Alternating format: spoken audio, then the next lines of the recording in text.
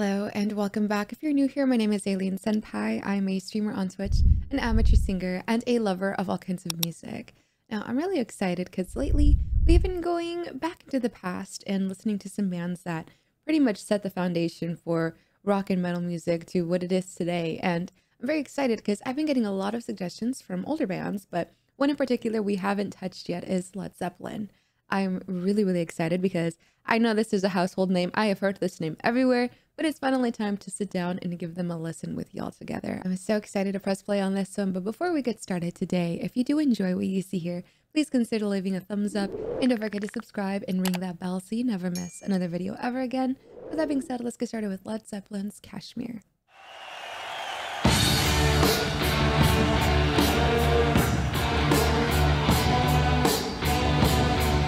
I love the outfit so far.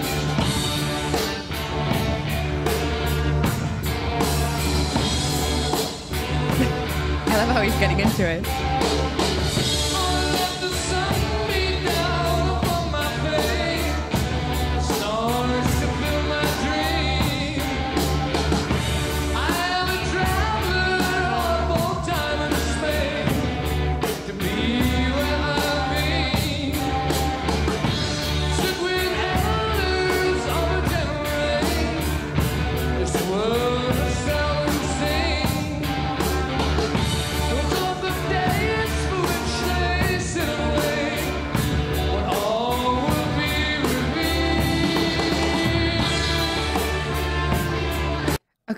So far uh, that riff is really, really good. Uh, I love how simple, uh, simple it is, but it's so damn catchy at the same time.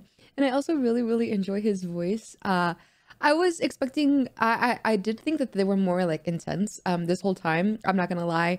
Um, but I like how groovy this feels. Like this feels really calm and groovy, and I'm really digging this so much so far. But his voice is so incredibly unique. Uh, it has a really, really nice um, uh, tone to it and you can just tell like I, I already on a first listen i'm already like okay i could definitely pick him up out of a vocal lineup because it just has character.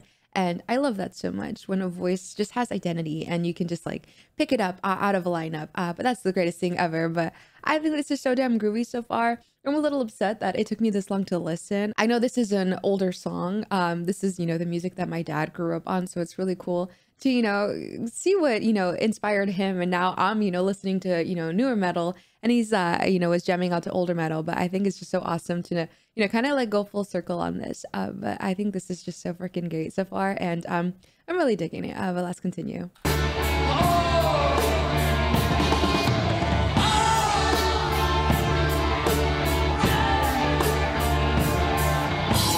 double keyboard there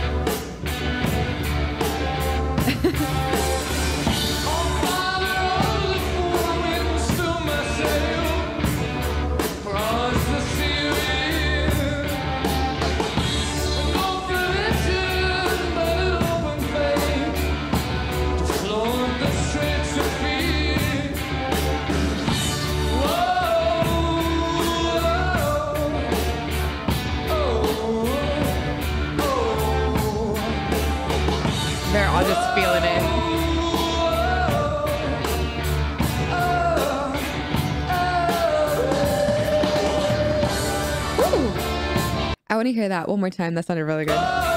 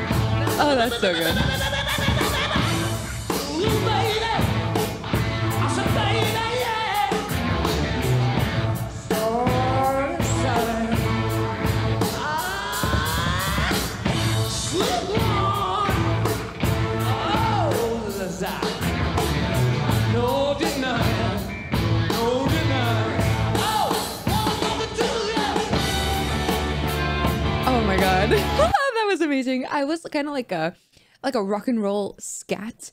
Um honestly, I don't think I've heard that yet. I've heard scatting and like, you know, jazzy type. Uh you know that style, that genre and I really enjoy it, but I've never heard like a rock and roll scat type, you know, sound before and that sounded so great. I don't know if this was something that uh, he coined or something that was going on in the 70s. I'm also like diving, you know, back into the past and listening to older, you know, 80s thrash metal, metal bands, classic metal.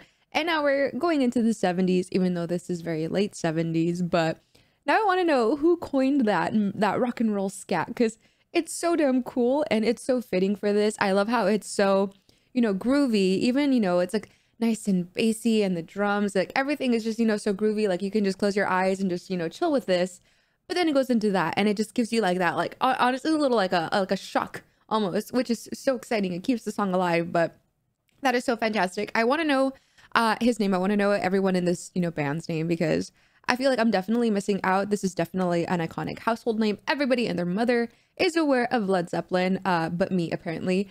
Um, but now that we're diving into this, like I, I was not expecting this kind of sound. I honestly thought it was going to be a lot different. Um, but now I'm curious as to dive into more bands in this timepiece. Uh, but this is so damn great. I'm really, really digging this. I I kind of want to go back just a little because I want to hear a little bit more of of that like rock and roll scat because it just it was just so damn cool. So let's continue. Oh.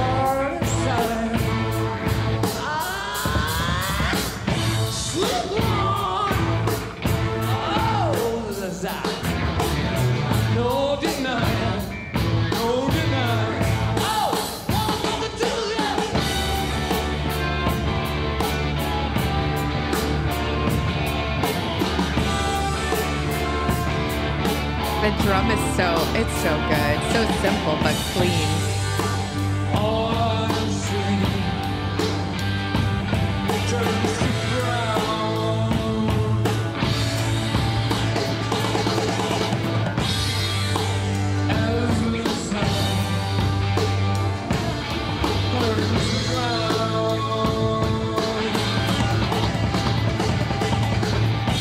Never mind.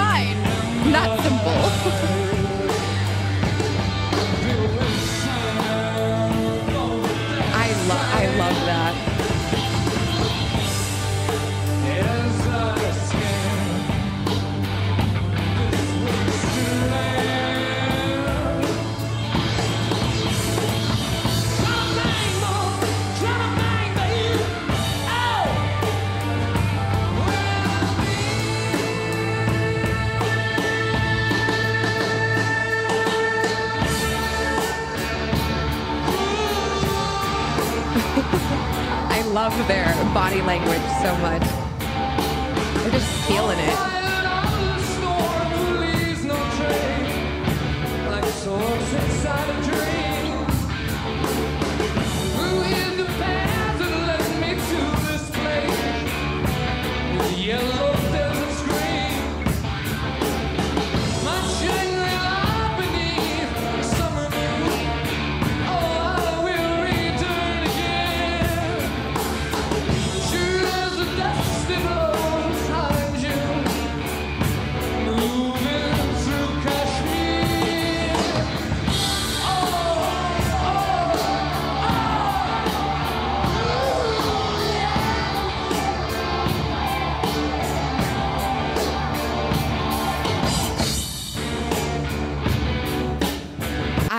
so much how there's just so many different um, instrumental changes. We get a lot of different types of beats. Like the uh, the intro is now we're coming full circle, and it seems like they're gonna bring it back again. But then the guitar changes, everything about it, even like tiny little drum fills, like everything about it is just so cool. Uh, I know it is, uh, you know, more of an old, uh, not older, uh, a longer song. Usually songs, and I did hear uh, a lot of people wanted songs to be shorter because they would get bored, which I think is kind of madness because I love so much when a song is like 10, 15 minutes long uh, because they usually cram in a bunch of songs in one.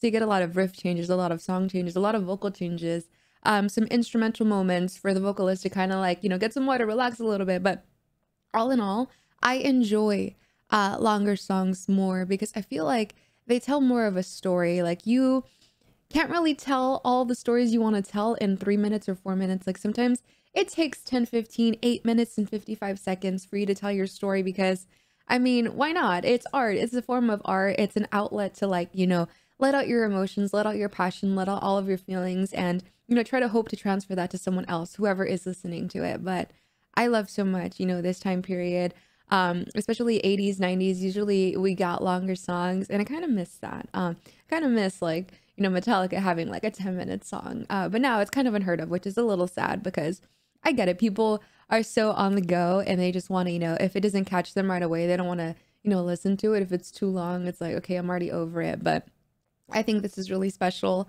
Um, how we're getting so many changes in one song, and I think that's just so damn great. Um, but I, I rewinded just a bit because I loved that intro riff so much. And now that we're uh, going back to it, I feel like it's just a little exciting. So let's continue.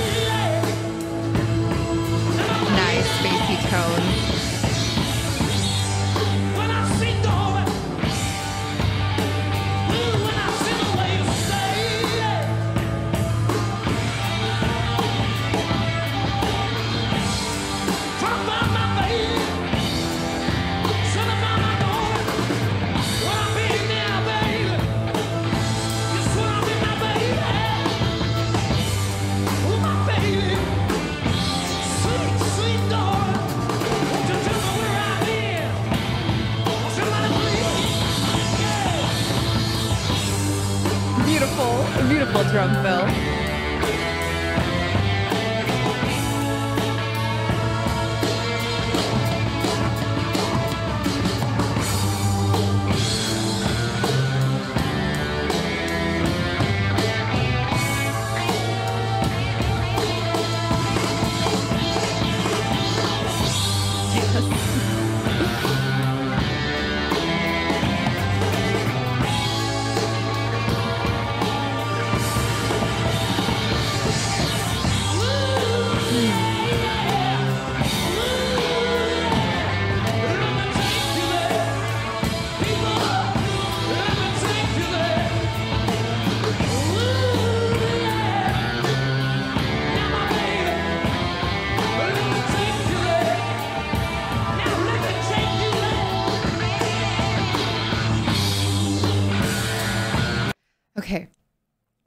Wanted to make this at one point. I have to do my, you know, pauses to appease the copyright gods here. So I apologize. Um, but what I'm really digging about this song a lot is it seems like they pick and choose when to allow each band member to have their, you know, moment to shine because it seemed very uh, like simple riffs in the beginning and then, you know, it, it obviously changed. And even um, on the piano it seemed like it was like a, a, a, double piano which i thought that was really cool. Um but also the drums. The drums felt really simple really groovy. It was keeping a nice uh clear easy tempo the entire time. And now we're getting into kind of a little bit more of the drummer's time to shine and we're getting a little bit of the piano time to shine and the you know the bassiness and the guitars and of course his moments as well where he does a little bit he adds a little bit more of that rock and roll twang to his voice and I, I, love that so much that it's not giving you everything all at once and then it becomes everything becomes too cluttered. Everything here is so well thought out and spread out and you kind of just enjoy these little pockets from each, you know, performer.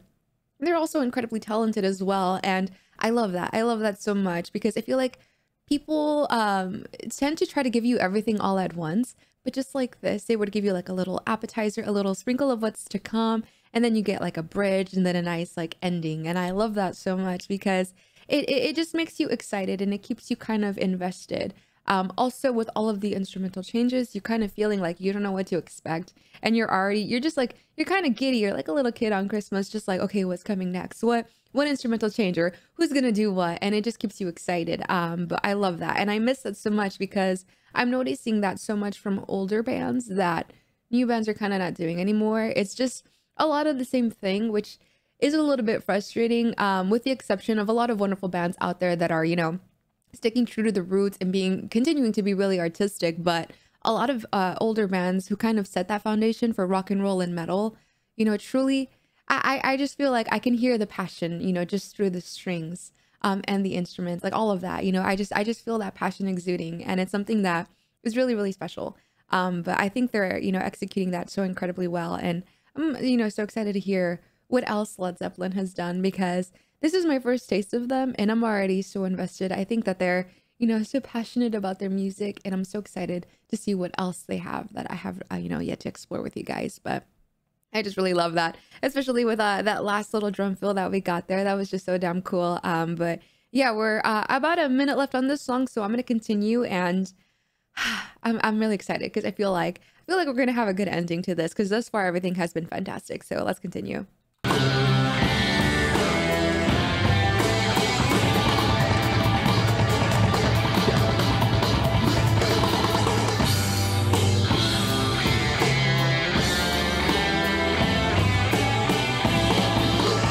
Love the body language. Woo. Oh yeah that felt personal.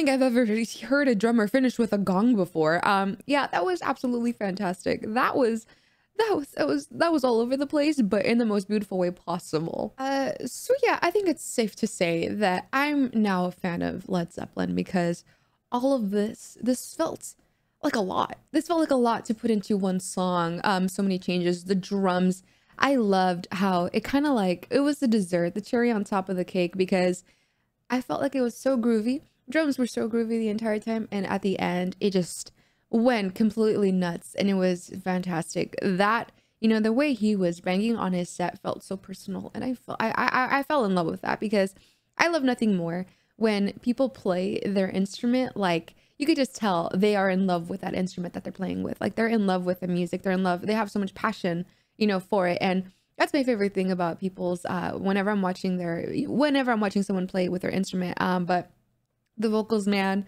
uh, there's a lot to say about these vocals. Uh, again, I love how he has such a clear vocal identity, something you can definitely pick up out of a lineup. I loved the scatting. I loved that, you know, rock and roll twang. It really felt like he was even, you know, feeling himself on that stage. It was the body language. Honestly, all of the guitarists look like they were feeling themselves, like they know they're just rock and roll gods. And, you know, they know that everyone in that crowd is looking up at them like they're legendary. And I love that. It's not even conceited. It's like they worked their way to get to their, you know, position, whatever position they were at at the time, and they they pretty much earned it because whatever they put on that stage, it felt like they put it all out there for that crowd and I thought this was fantastic. Absolutely fantastic. I have no no, no bad things to say. Um, the only thing I just wasn't expecting, I was expecting, I thought it was, uh, I, this whole time I thought they were more like aggressive um, but I'm having a feeling like there may be some songs out there that may be a little bit more aggressive. Um, because I did see that he has a really nice like distortion to his voice, and I feel like he's gonna play around with that more uh, as I dive into them a little further. But all in all, fantastic voice, fantastic instrumentals, and all together they made a really fantastic song. And I'm so excited. I'm so excited to dive in further with Led Zeppelin with y'all. Please let me know what other Led Zeppelin songs you would like me to listen to in the comments. And of course, if you enjoyed this video, please be sure to leave a thumbs up and don't forget to subscribe and ring that bell so you never miss another video ever again. But with that being said, I also stream on Twitch. I stream every Monday, Thursday, Friday, and Saturday at 2 p.m. Pacific Standard Time. You can come hang out, say hi, introduce yourself. We could get to know each other a little bit better on there. Other than that, I make music videos every single day, so stay tuned until tomorrow. I will see you very soon, but in the meantime, take care of yourself. Remember, I love you so very much, and I'll see you very soon. Bye!